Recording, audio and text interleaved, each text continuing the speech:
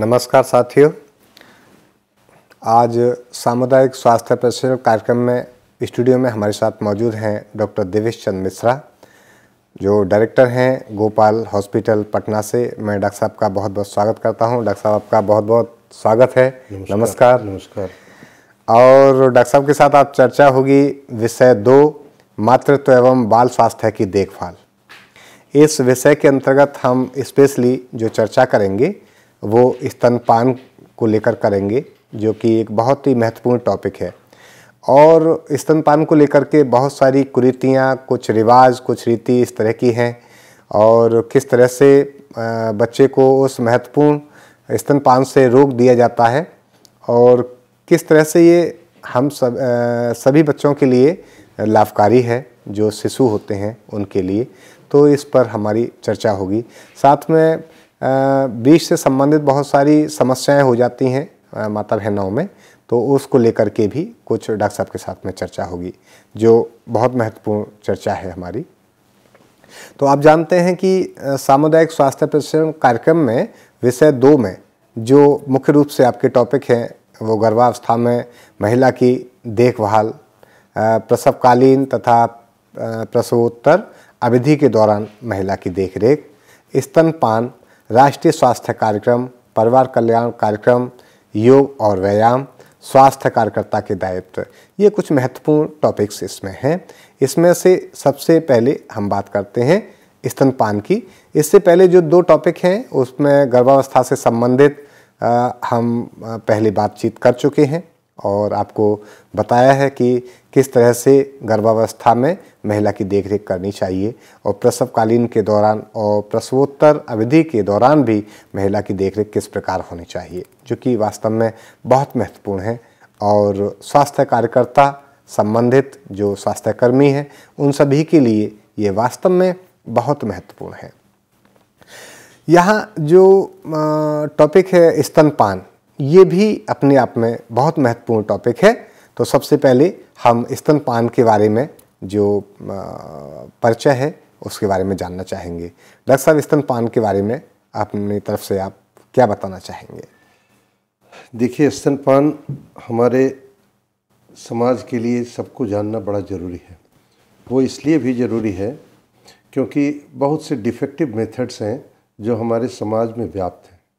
जो दूर होना चाहिए। जानकारी के अभाव में ऐसा होता है। इसके अलावा कुछ बहुत सी भ्रांतियाँ हैं जो अभी भी हमारे समाज में व्याप्त हैं। उन भ्रांतियों को भी दूर होना चाहिए और जो सही तरीके हैं, वो भी जानना चाहिए। उन गलतियों के क्या क्या दुष्परिणाम होते हैं, इसके बारे में भी आम लोगों तक ये जानकारी पहुंचनी चाहिए। लेकिन आम लोगों तक पहुँचाने का कार्य केवल चैनल से तो हम लोग नहीं कर सकते, लेकिन हमारे स्वास्थ्य कार्यकर्ता जो इस दिशा में कार्य कर रहे हैं और दूसरे स्वास्थ्यकर्मी भी हैं, ये लोग इस बात को जन जन तक पहुँचा सकते हैं और पहुँचाने में मदद कर सकते हैं। तो हमें इस बारे में जानना चाहिए। तो सबसे पहले हम लोग कुछ उन भ्रांतियों के बारे में हल्की चर्चा करते हैं जो हमारे समाज में व्याप्त है। तो पहली बात तो ये है कि गाँव में प्रचलित है, अभी भी गाँव में प्रचलित है कि माँ का पहला दूध, जो गाढ़ा जैसा दूध होता है उसे निकाल कर फेंक देना चाहिए। वो ख़राब होता है, उससे शरीर, बच्चे को नुकसान पहुँचता है। ये बिल्कुल ही गलत और मिथ्या भ्रांति है ये। इसे हम लोगों को समझ लेना बड़ा ज़रूरी है। वह पहला दूध, जिसे गाँव में कहीं खीर, कहीं कुछ कहीं कुछ नाम दिया गया है तो वो बच्चे के लिए बहुत पौष्टिक होता है। उसमें से बहुत से ऐसे सबस्टांस होते हैं, जो बच्चे के शरीर में इम्यूनिटी डेवलप करते हैं, रोग प्रतिरोधक क्षमता विकसित करते हैं। तो इसलिए पहला दूध तो ज़रूर ही बच्चे को देना चाहिए, उसे निकाल के फेंकने के बजाय पहला दूध ज़रूर देना चाहिए। उसे अंग्रेज़ी में कोलेस्ट्रम भी कहते हैं। तो कोलेस्ट्रम बहुत उपयोगी है, बच्चे के लिए बहुत बहुत उपयोगी है। इस बात को आप हमारे स्वास्थ्यकर्ता भी दिमाग में बैठा लें और इसे गाँव तक के लोगों तक भी पहुँचाने का प्रयास करें। यानी कि जिन लोगों को ये जानकारी नहीं है और ख़ास तौर से उसको गलत रीति रिवाजों के साथ में एक, ये कहा जाता है कि नहीं, स्तनपान जो है तुरंत नहीं कराना चाहिए। तो डॉक्टर साहब, ये बिल्कुल स्पष्ट रूप से कह रहे हैं कि वो जो है बहुत ही महत्वपूर्ण और उसमें कोलेस्ट्रॉल पाया जाता है, जो कि पौष्टिक है बहुत ज़्यादा उस शिशु के लिए, जो कि उसके लिए बहुत सारी चीज़ों में मदद करता है। यहाँ तक कि उसकी जो इम्यूनिटी डेवलप होती है वो भी उसके लिए जिम्मेदार है। जी डॉक्टर साहब। और दूसरी भ्रांति के बारे में बताते हैं। जी। दूसरी भ्रांति ये है कि कुछ लोग स्तन की सफ़ाई नहीं करते और बच्चे को दूध पिलाते हैं वो गंदगी लगा रह जाता है उसे साफ़ सुथरा रखना चाहिए और कुछ लोग अति साफ़ सुथरा रखने में रहते हैं। वो बार बार बार बार स्तनों में साबुन लगाते हैं जिस साबुन के द्वारा क्रैक्ड निपल्स हो जाते हैं। वो फट जाते हैं वहाँ इन्फेक्शन आ जाता है और वो परेशानी करता है। उसे सिंपल धो लेना है। रोज़ एक बार नहाते समय जैसे साबुन लगाते हैं, वैसे साबुन लगाना है और बार बार धो लेना ज़रूरी है, लेकिन बार बार साबुन लगाना भी उचित नहीं है। उससे कई बीमारियाँ होती हैं। तो साफ़ सुथरा रखना, ये भ्रांति को दूर कर लेना चाहिए। अति साफ़ सुथरा रखना भी आवश्यक नहीं है और बिना साफ़ सुथरा रखे भी नहीं रखना चाहिए। नहीं तो कई तरह की बीमारियाँ वहाँ पे हो जाती है, खास करके निपल्स में इन्फेक्शन हो जाते हैं। तीसरी मिथ्या धारणा है जो गाँव में कुछ लोगों के पास है, कुछ लोगों में नहीं है, वो ये है कामकाजी महिलाएँ जो होती हैं, वो बच्चे को बोतल का दूध पिलाना पसंद करती हैं। और गाँव में जो कम पढ़ी लिखी महिलाएँ हैं, वो लोग सोचती हैं कि बोतल का दूध वो ज़्यादा फ़ायदेमंद होता है। इस पर सरकार ने विचार करके बिल्कुल स्पष्ट कर दिया है कि डब्बा वाले दूध पर लिख देते हैं, लिखना कंपलसरी है कि माँ का दूध शिशु के लिए सर्वोत्तम आहार है। इस बात को आप हर जनता, हर माँ के दिमाग में बैठाइए कि बच्चे के लिए माँ के दूध से अच्छा कोई दूसरा दूध नहीं हो सकता। क्योंकि माँ का दूध उस बच्चे के लिए जो सर्वोत्तम आहार है, वही तैयार होता है, जो उस बच्चे के लिए ज़रूरी है। तीसरी बात कि कामकाजी महिलाएँ बोतल से दूध पिलाना आसान रहता है बाहर जाना है, ये नुकसानदेह है। बच्चे के विकास के लिए बहुत गड़बड़ है।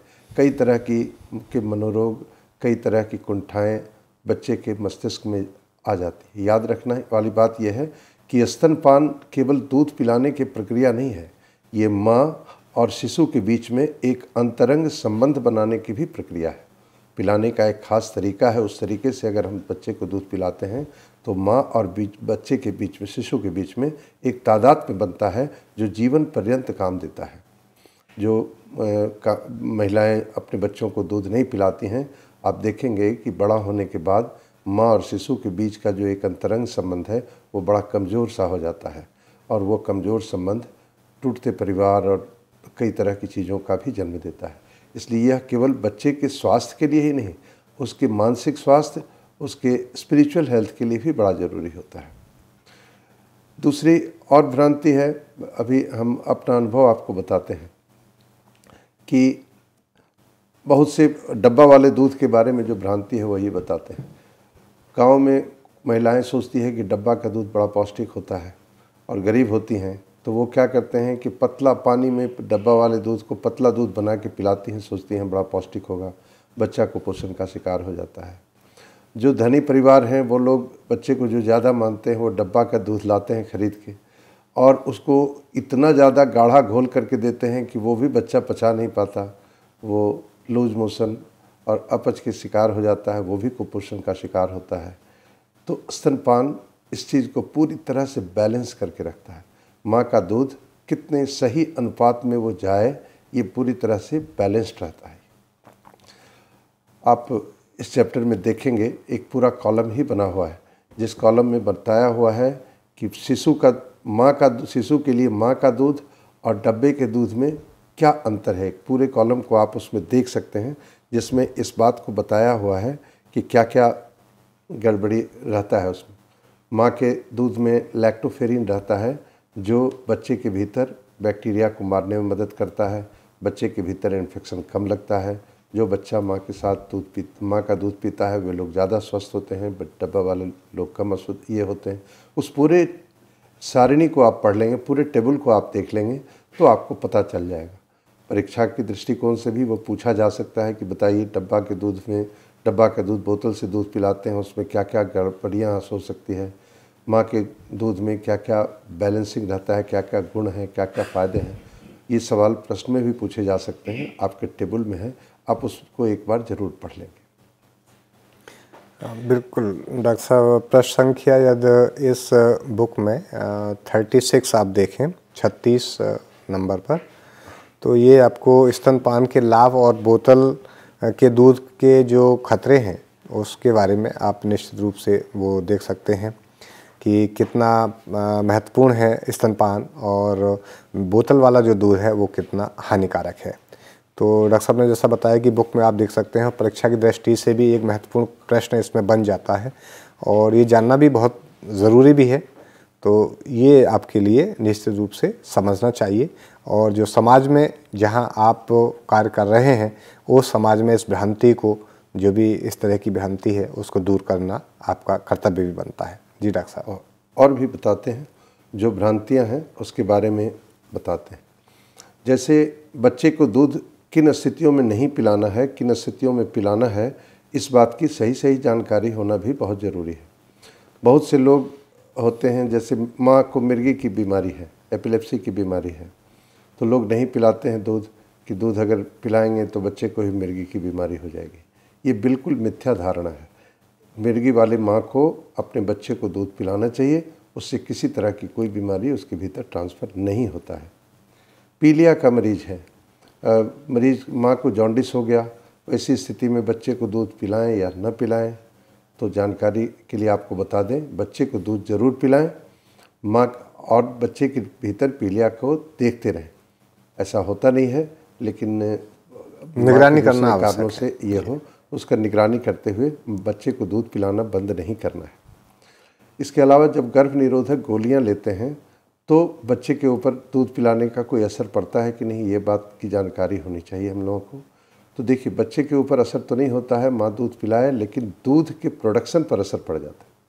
माँ अगर गर्भ निरोधक गोलियाँ लेती हैं तो दूध बनना कम हो जाता है और जितना बच्चे को चाहिए वो नहीं होता है। इसलिए छः महीने तक गर्भ निरोधक गोलियों के बजाय दूसरी दूसरी कंट्रासेप्शन के दूसरे मेथड्स इस्तेमाल करने चाहिए। इसके अलावा हल्का फुल्का बुखार अगर माँ को है तो भी जैसे सर्दी वगैरह हो गया, हल्का फुल्का तो दूध पिलाना बंद नहीं करना चाहिए। नहीं, दिमाग में लोगों के बैठा हुआ है गाँव में कि अगर हल्का बुखार है, अगर हम पिलाएँगे तो बच्चे को भी बुखार हो जाएगा। ऐसी बात नहीं है, लेकिन अगर तेज़ बुखार, तीव्र बुखार अगर है, माँ बहुत परेशान है बुखार और बीमारी से वैसी स्थिति में दूध पिलाना हम लोगों को बंद कर सकते हैं। लेकिन जो दूध माँ को बन रहा है, उसे गार के निकाल देते हैं। नहीं निकालेंगे, अब तो मशीन भी आ गया है, जिससे कि हम लोग ब्रेस्ट पंप से निकाल लेते हैं दूध और ये करते हैं। इसके अलावा मलेरिया है, टीबी की बीमारी है। इस स्थिति में बच्चे को दूध पिलाएँ कि न पिलाएँ तो मैं स्पष्ट रूप से कहना चाहूँगा कि टीबी हो या मलेरिया हो, इन सब स्थितियों में माँ अपने बच्चे को निर्भय होकर के दूध पिला सकते हैं इससे किसी तरह का कोई नुकसान उनको नहीं होता है। हाँ, बिल्कुल डॉक्टर साहब ये बहुत ही इम्पोर्टेंट बात आपने बताई कि किस तरह से किन परिस्थितियों में दूध पिलाना चाहिए और नहीं पिलाना चाहिए। इस पर बड़ा स्पष्टीकरण आपने दिया और स्वास्थ्य कार्यकर्ता की ये ड्यूटी बनती है कि इन सारी चीज़ों को वो अपने समाज तक वहाँ लोगों तक पहुँचाए जहाँ उसका कार्य क्षेत्र है। साथ ही ये भी हमें जानना बहुत ज़रूरी है कि जन्म के छः माह के उपरांत शिशु को स्तनपान के साथ साथ कुछ सप्लीमेंट्री आहार भी उसे शुरू कर देना चाहिए। स्टार्टिंग में उसे थोड़ा सा तरल पदार्थ जो है, सूप है, सब्जियों का या हल्की दाल का पानी है मिश्रित और दूध थोड़ा सा है तो ये सब चीज़ें हम हल्का सप्लीमेंट्री में उसको दे सकते हैं और धीरे धीरे फिर उसको जो सेमी सॉलिड आहार है जैसे केले का थोड़ा सा मसला हुआ या आलू को थोड़ा सा मसला हुआ, दलिया हल्का सा खिचड़ी हम हल्की सी इस तरह की हम दे सकते हैं उसको। ये सब चीज़ें बहुत ही ध्यान रखने की बात है। साथ में, डॉक्टर साहब, कई बार जो स्तन से संबंधित जो परेशानियाँ होने लगती हैं और कई बार इस तरह की जो बड़ी परेशानियाँ जाती हैं जैसे ब्रिस्ट कैंसर जैसी बीमारी हो जाती हैं। तो इनके क्या कारण हैं और इनके लिए किस तरह का ध्यान जो है वो रखना चाहिए? उसके पहले चौहान साहब दो तीन बातें और बताना चाहेंगे। जी जी। कि वो कि स्तन को साफ़ रखने की टेक्निक तो हमने बताया कि साफ़ रखना है लेकिन अति साफ़ नहीं रखना है। और इसके साथ किस कंफर्टेबल पोजीशन में माँ को दूध पिलाना चाहिए? जी। केवल जैसे माँ अगर दूध पिलाती है तो छाती अगर हम धरवाते हैं, स्तन को धरवाते हैं तो निपल वाले हिस्से को केवल नहीं धराना है, बल्कि पूरे छाती को, पूरे ब्रेस्ट को हम लोग बच्चे के संपर्क में लाते हैं और बच्चे के पूरे शरीर को माँ अपने पेट से सटा के रखती है ताकि बच्चा कंफर्टेबल फील कर सके, माँ के शरीर की गर्मी बच्चे के शरीर के भीतर प्रवेश कर सके और बच्चा गर्म रहे क्योंकि हाइपोथर्मिया के चांसेस शिशु में बहुत ज़्यादा रहता है। बच्चे को ढक करके माँ को दूध पिलाना चाहिए, ताकि वह पूरा पूरा स्तन बच्चा अब महसूस करे अपने गाल पे, अपने होठ पे कि हम दूध पी, आ रहा है उसमें। दूसरी चीज़, कि साफ़ रखना फिर एक बार जोड़ देते हैं कि दूध पिलाने के पहले स्तन को पानी से धो लें और तब बच्चे को दूध पिलाएँ। दूध पिलाने के बाद भी आप स्तन को धो लें, उस पर हल्का तेल लगा लें। वो ज़्यादा अच्छा रहेगा। नहीं तो क्या होगा? नहीं तो सोर निपुल हो जाता है। सोर निपुल का मतलब हुआ निपुल में घाव हो जाना। जो बच्चे के डिफेक्टिव तरीके से दूध पिलाने के कारण होता है, वो फट जाता है और वहाँ पे घाव हो जाता है। फिर बच्चे को दूध पीने में भी दिक्कत होती है, दूध पिलाने में भी दिक्कत होती है। फिर इंगॉर्जमेंट जो दूध कम पिलाते हैं, नहीं पिलाते हैं तो उन लोगों के ये में इंगॉर्जमेंट हो जाता है ब्रेस्ट में, जो आगे चल कर के कई तरह के बुखार ब्रेस्ट इन्फेक्शन का कारण बनता है। तो इस बात को ध्यान देखना। दूसरा, बच्चे को दूध पिलाने का टाइम भी हम लोगों को तय करना चाहिए कि किस समय दूध पिलाना है। हर थोड़ी थोड़ी देर पे दूध पिलाना है, लेकिन समय से एक घंटे पे, दो घंटे के अंतराल पे, जैसे शिशु बड़ा होता है, ये अंतराल को बड़ा करते जाते हैं। इसकी जानकारी भी माँ को होना चाहिए। इसके अलावा कभी कभी क्या होता है कि बच्चा सही से दूध नहीं पिया और ठीक से नहीं पिलाया गया टेक्निकल डिफेक्ट के कारण या अचानक बच्चे को दूध पिलाते हुए अचानक हम लोग हटा देते हैं तो उसके चलते जो डक्ट है, जिससे दूध निकल कर के बच्चे तक पहुँचता है, वो ब्लॉक हो जाता है। तो ब्लॉक हो जाता है तो बच्चे को दूध नहीं होता ब्लैक होने के कारण ब्रेस्ट में दूध जमा होने लगता है, फिर वो इन्फेक्शन का एक बड़ा स्रोत हो जाता है। ऐसी स्थिति हो तो उसे गार करके श्रमपूर्वक निकाल देना चाहिए, ताकि बच्चे वह दूध का प्रवाह सतत रूप से जारी हो सके। बच्चा बीमार है, दूध नहीं पी पाया है तो भी दूध को गार करके स्तन को निकाल देना चाहिए दूध, ताकि वहाँ पर वह स्रोत इन्फेक्शन का नहीं बने। इसके अलावा क्रैक निपल्स हो जाते हैं। बहुत ज़्यादा साबुन से सफ़ाई के कारण होता है, जो हमने पहले चर्चा की है। तो क्रैक निपल से बनने, से भी बचने का है। और अभी जो आपने चर्चा किया, कैंसर, ब्रेस्ट कैंसर का, जो आज के ज़माने का एक बड़ा कारण बन गया है। बहुत से स्त्रियों को हो जाता है। तो ब्रेस्ट कैंसर के बारे में दो तीन चीज़ें जाननी चाहिए। दूध पिलाने से उसका कोई संबंध नहीं है। अगर जो माताएँ दूध ज़्यादा पिलाती हैं अपने बच्चों को, उनको ब्रेस्ट कैंसर होने के चांसेस बिल्कुल बहुत कम हो जाता है। बहुत कम लोगों को ऐसा होता है। ब्रेस्ट कैंसर के कई दूसरे कारण हैं। कुछ तो अनुवंशिक कारण है। उनकी माँ को हुआ होगा तो हो सकता है ब्रेस्ट कैंसर होने के चांसेस ज़्यादा बढ़ जाएँ। इसके अलावा देखा गया है कि जो माताएँ अपने शिशु को दूध नहीं पिलाती हैं उन लोगों में ब्रेस्ट कैंसर के चांसेस ज़्यादा होते हैं। तो इस बात को ध्यान रखना चाहिए कि माँ अपने शिशु को अपना दूध ज़रूर पिलाए और छः महीने तक सिर्फ़ और सिर्फ़ अपने दूध पे रखे। यह बात हर माताएँ, जो माता बनने वाली हैं, उनको भी, जो माँ बन चुकी हैं, उनको भी, ये बात हर स्वास्थ्यकर्ता को चाहिए कि उनके दिमाग में बैठा दें। चिकित्सक भी इस काम में सहायता कर सकते हैं, अपने स्वास्थ्यकर्ताओं को जानकारी देकर और जब जो महिला उनके संपर्क में आते हैं। अगर स्वास्थ्यकर्ता को महसूस होता है कि हमारी बात का गाँव के लोगों पे असर नहीं पड़ रहा है तो उन्हें चिकित्सा के सानिध्य में लाना चाहिए। उनकी कही गई बातें उन पर ज़्यादा असर डालेंगे। तो ये ब्रेस्ट के बारे में हुआ। आ, बिल्कुल डॉक्टर साहब।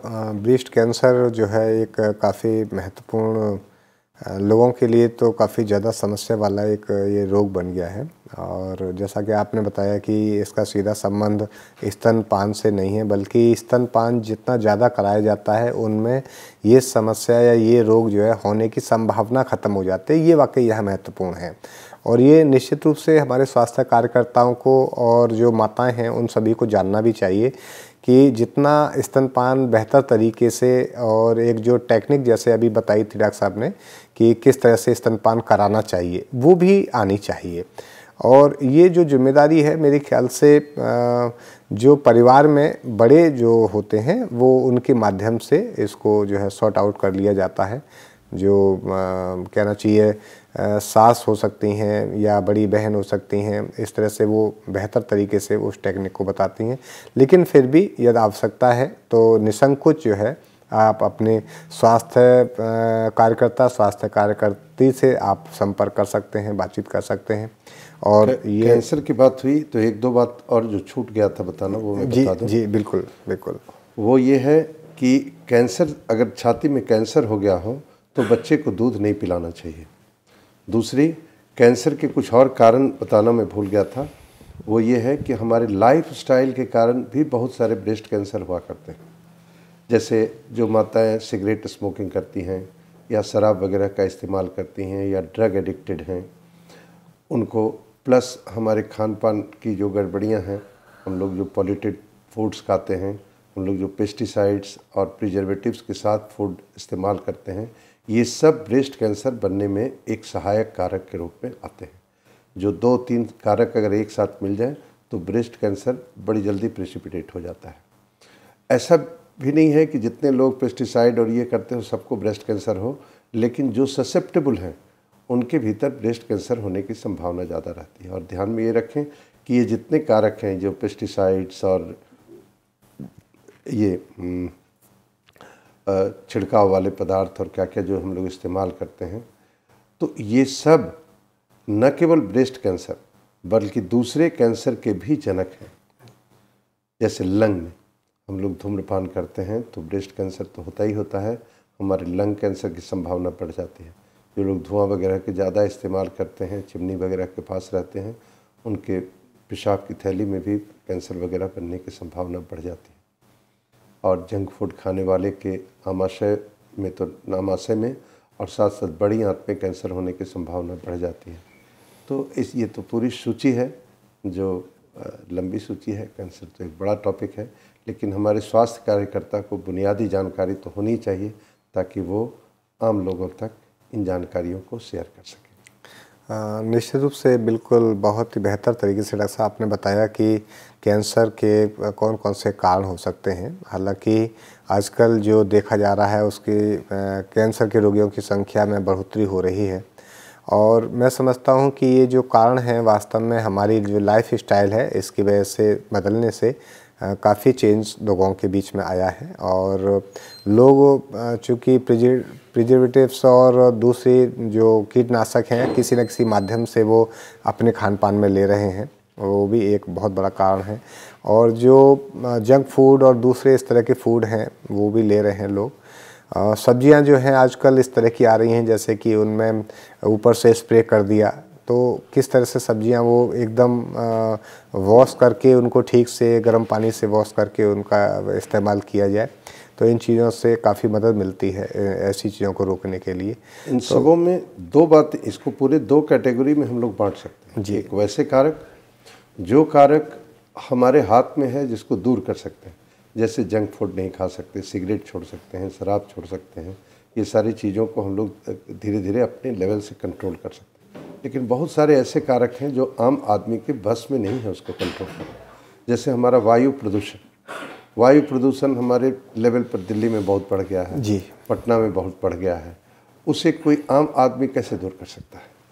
उसे तो सरकार और बड़ी संस्थाएँ मिलकर के संयुक्त संयुक्त नहीं करेंगे संयुक्त संयुक्त प्रयास से जो है इसको तब मतलब तक आम आदमी उसको झेलने के लिए मजबूर हो जाता बिल्कुल है। बिल्कुल बिल्कुल। तो सरकार को भी इस दिशा में प्रयास करने चाहिए और आम आदमी को उसमें सहयोग करना तो साथियों ये हमारा स्तनपान और ख़ास तौर से स्तन से संबंधित कैंसर, इसकी जानकारी डॉक्टर साहब, डॉक्टर देवेश चंद मिश्रा जी ने आपको बहुत ही बेहतर तरीके से दी। मुझे उम्मीद है आप लोगों को पसंद आई होगी और आप निश्चित रूप से अपने प्रशिक्षण से संबंधित ये जो कार्यक्रम है हमारा, इसमें इसका भरपूर इस्तेमाल कर सकते हैं और अपना जो आपकी परीक्षा है, उसके माध्यम से आप तैयारी भी कर सकते हैं परीक्षा की। तो मैं डॉक्टर देवेश चंद मिश्रा जी का बहुत बहुत धन्यवाद देता हूँ कि वो हमारे साथ आए और स्टूडियो में आपको ये बहुत ही महत्वपूर्ण जानकारी उन्होंने दी। डॉक्टर साहब का बहुत बहुत धन्यवाद। और साथ ही मैं आपको एक बार फिर यही कहूँगा कि चूँकि आप हमारे इस कार्यक्रम में जुड़े रहे हैं हमारे साथ में और समय समय पर आकर के ये आप महत्वपूर्ण जानकारी हमारे स्वास्थ्य कार्यकर्ताओं को बीच बीच में देते रहें। बहुत बहुत धन्यवाद आपका। नमस्कार। नमस्कार। मुझे भी आपके स्टूडियो में आप लोगों के बीच आकर और ख़ास करके अपने स्वास्थ्य प्रशिक्षु स्वास्थ्यकर्ताओं कार्यकर्ताओं के साथ बात करते हुए बहुत अच्छा लगता है। इसलिए मुझे भी बार बार आना अच्छा लगता है आपके नमस्कार। जय हिंद।